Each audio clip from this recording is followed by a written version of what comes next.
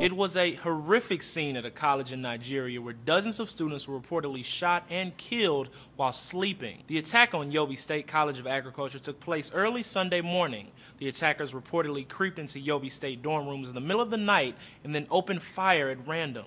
The Islamic terrorist group organization Boko Haram is said to be responsible.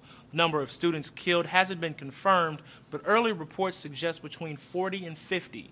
This shooting at Yobe State is just one in a string of attacks on students in the country.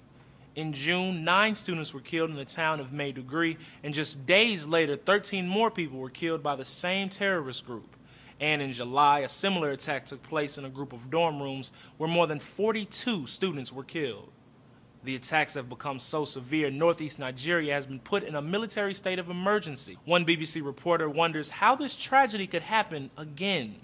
Questions are being raised at the moment as to why there wasn't any extra security for these kinds of institutions that would prevent such an attack from happening again because it certainly isn't the first time this has happened. So the obvious question becomes why is Boko Haram specifically targeting students? The group's name, Boko Haram, actually translates to Western education is forbidden.